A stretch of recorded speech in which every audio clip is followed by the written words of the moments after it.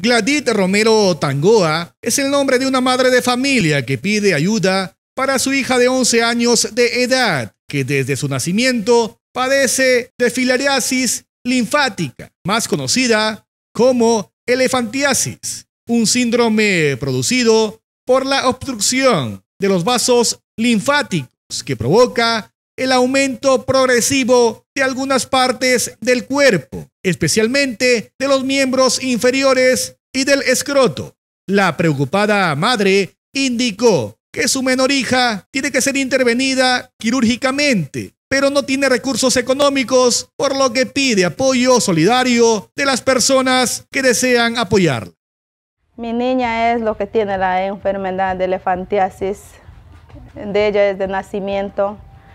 Este, ahora lo que estamos viendo que ella va a tener este, una operación, que vamos este, que le van a hacer una operación o una evaluación este, general, como dijo el doctor, que posiblemente desde este mayo ella ya será este, operada.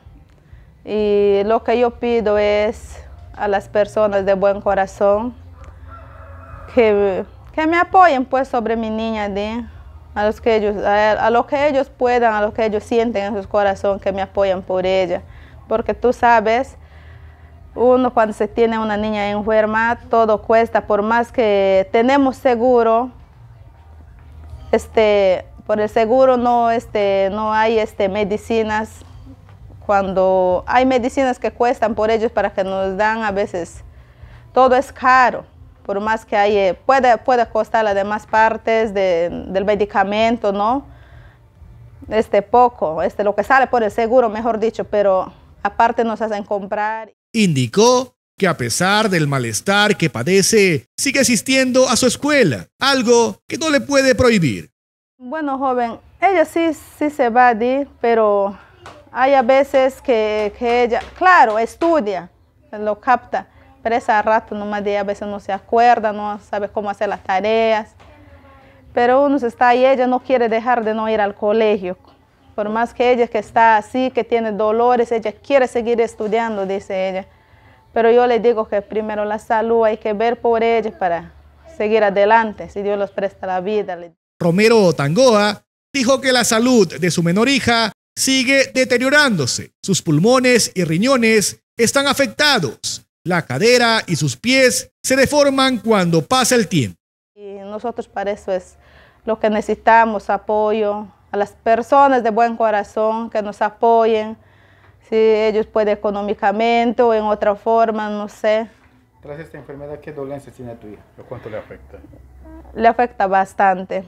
Ella actualmente ya este, ha resultado con, con agua en los pulmones, también en los riñones. Hace tres años que ella estaba internado y a la medida que sigue yendo los años, pasan los años, ella sigue creciendo, deformándose otra vez el pie, la cadera, de la cadera al pie. Y por eso ahora ella tiene síntomas, le duele. Ayer también estaba así, este, mal, estaba en cama, que tenía dolor de piernas, todo su cuerpo, mejor dicho, que le duele a ella. Y por eso estamos así, este, con su referencia, viendo para el hospital, casualmente desde, este mayo lo que va a este, empezar de ella su, su, operación para que le hagan ahí en Minsa. Acá en Tarapoto. Acá en Tarapoto, dijeron. Cualquier ayuda, pueden llamar al siguiente número celular 948-091-884 o también lo pueden visitar en la urbanización Santa Patricia, sector Ventanilla, en el distrito de la banda de Chilcayo. A las personas que me desean apoyar, mi número es el 948-091-884, el número de mi celular cualquier apoyo me pueden hacer a las personas que me están viendo. Pueden hacer llegar acá, sector Ventanilla, urbanización Santa Patricia, es donde yo vivo.